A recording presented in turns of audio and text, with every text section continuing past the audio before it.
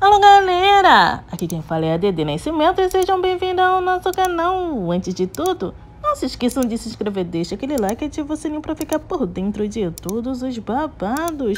Bora falar de Samara Silva que, gente, não apareceu muito bem no seu Instagram. Primeiro, ela disse que teve uma recaída. Sim, teve uma recaída. Ela apareceu com os olhos inchados, né? O rosto meio inchado de quem tinha chorado, gente. Então ela disse que não teve jeito e teve uma recaída. Depois passou alguns stories e ela veio falar que já tirou a cama da Lolo do quarto das meninas, que era um quartinho só delas e que está vazio. E ela veio desabafar. Continua com os olhos inchados de quem chorou e ela disse que ela não consegue acreditar no que está acontecendo, né? No que aconteceu. Ela pensa que a filha dela está lá na casa da mãe dela e a qualquer momento pode voltar, né?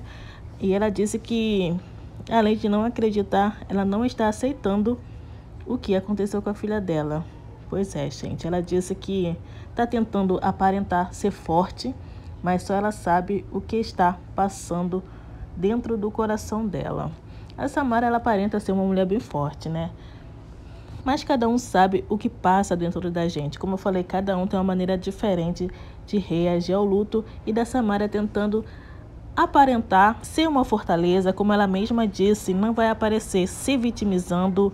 Uma coisa eu falo, Samara, mesmo se você aparecer chorando, se você desabafando, eu acho que não é vitimismo não. Pelo que você passou, é só mais uma mãe, uma mãe sofrendo por tudo o que aconteceu. Eu não veria isso como vitimismo, nem nada disso. Só uma mãe que está sofrendo. E eu acho que quem pensa que por uma mãe sofrer pela morte de um filho é vitimismo, essa pessoa não tem coração. Porque a gente que não conhece, acompanha de longe, partiu nosso coração. Imagina uma mãezinha que perde um filho pequenininho ainda, como era a Lulu, né, gente? Então, Samara não está conseguindo aceitar, a ficha dela não caiu ainda, não caiu ainda, e eu entendo perfeitamente, né? Perdeu. Ai, Deus me livre, não consigo nem imaginar perder um dos meus. Mas eu recebi comentários de muitas mãezinhas que, que também perderam seus filhos, inclusive para o câncer. Eu desejo meus sentimentos. Eu não imagino. A gente tenta se colocar no lugar do próximo, mas a gente não consegue, né?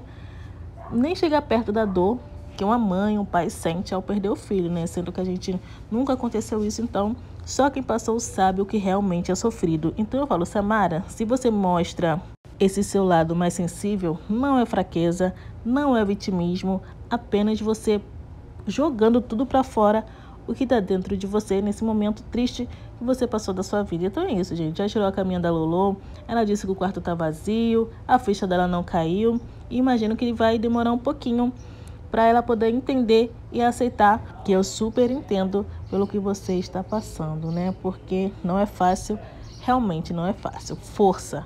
Deus está no controle. Então é isso, Tchutchuquinhas. O vídeo foi esse. Espero que tenham gostado. E deixa aqui nos comentários o que vocês acham. E se você for novo nova, continue aqui comigo. Fiquem com Deus. Bye, bye. E até a próxima.